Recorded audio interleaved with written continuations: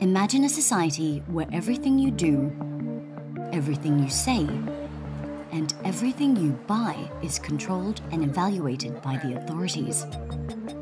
It's not science fiction. In China, it's a reality. From now on, citizens' lives are rated and assessed. This is what the Chinese Communist Party calls social credit. Here's our chart of excellence models. I'm the second one. In Fulushan, the villagers have been rated for a year. There are good citizens who contribute to the community, and bad ones, those who, for example, leave their trash out.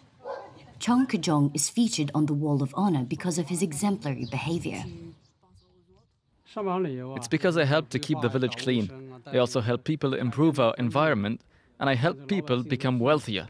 I'm proud, but it's also a lot of pressure because when you're on this wall, you always want to be better.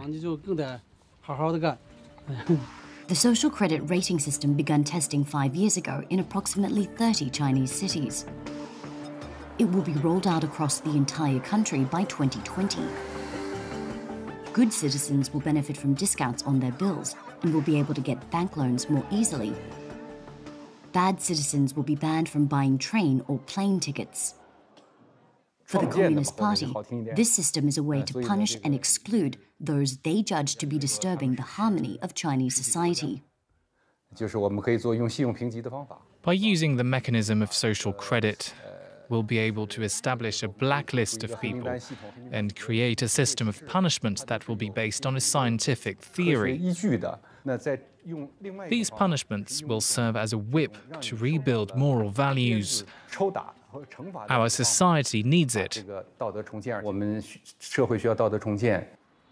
Located halfway between Beijing and Shanghai, Rongcheng was one of the first cities to implement social credit in 2013. In the streets, portraits of its best citizens are displayed on posters, like this soldier who saved two people from drowning.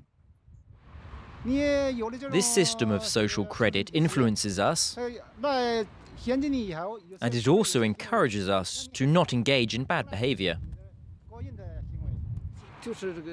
For example, when we drive, we let pedestrians cross, and when we queue to get on the bus, we don't jump the queue.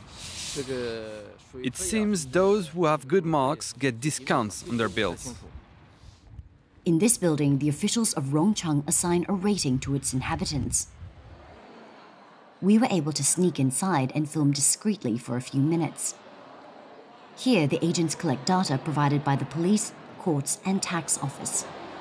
Each resident is then given a rating from the letter D for not so good citizens to triple A for the best. This also applies to companies. This woman has just obtained the maximum score for her architecture firm. These are my company records. When I need to respond to calls for tenders, it proves that my company is well rated. The higher the A rating is, the more reliable the company. It's a score obtained by all means. The company must not have conducted illegal actions and pay taxes accordingly. Reward good citizens and punish bad people. Human rights activist Hu Jia is already blacklisted. Deprived of his passport for 10 years, his movements are limited. He says the social credit system will allow authorities to more easily punish those who do not pledge allegiance to the party.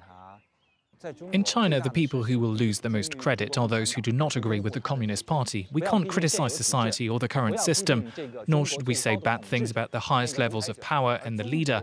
In fact, this social harmony desired by the party is set to maintain the stability of society, but it only serves to guarantee the monopoly of its power. For China's population, already scrutinized by the country's 117 million surveillance cameras, the social credit system only signals a further decline in freedom.